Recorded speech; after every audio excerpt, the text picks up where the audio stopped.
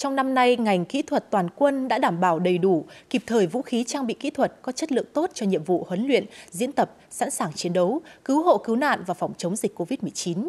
Trong đó, Tổng cục Kỹ thuật đã gắn việc xây dựng, triển khai các đề án kỹ thuật quan trọng với việc đổi mới, nâng cao hiệu quả thực hiện cuộc vận động 50.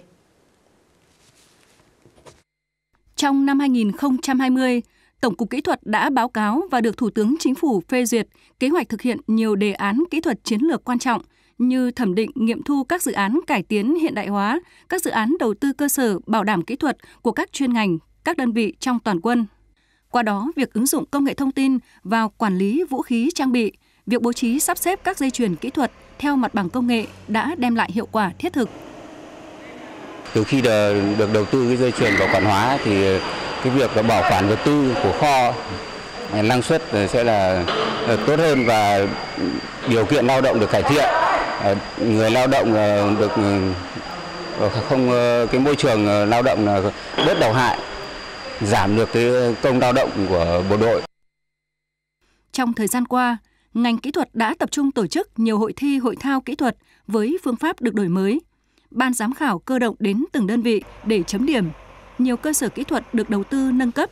Cùng với đó, việc thực hiện cuộc vận động 50 đã giúp củng cố và duy trì an toàn hệ thống kho tàng, cơ sở kỹ thuật. So với cùng kỳ năm 2020, số vụ tai nạn giao thông của năm nay giảm 23 vụ và số km an toàn xe ô tô quân sự đạt 12,5 triệu km trên một vụ. Để thực hiện tốt công tác an toàn giao thông thì đối với đoàn 34 chúng tôi thực hiện ờ, thực ra thực chất thì chỉ có 6 chữ thôi. Đó là xe tốt, người tốt, trong người tốt thì có sức khỏe tốt và tư tưởng tốt. Việc đầu tiên chúng tôi là tập trung vào công tác bảo đảm tình trạng kỹ thuật của xe à,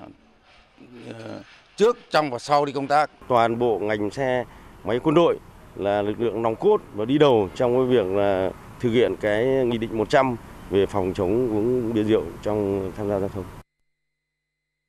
Trong năm 2021, Tổng cục Kỹ thuật tập trung tham mưu cho Quân ủy Trung ương Bộ Quốc phòng triển khai hiệu quả các chương trình mục tiêu trọng điểm của ngành kỹ thuật, xây dựng điều lệ công tác kỹ thuật quân đội nhân dân Việt Nam sửa đổi, tập trung khai thác, làm chủ các vũ khí trang bị mới, đồng thời đẩy mạnh công tác hiện đại hóa vũ khí trang bị kỹ thuật theo các đề án chiến lược, nâng cao hiệu quả công tác huấn luyện kỹ thuật các loại vũ khí mới công nghệ cao.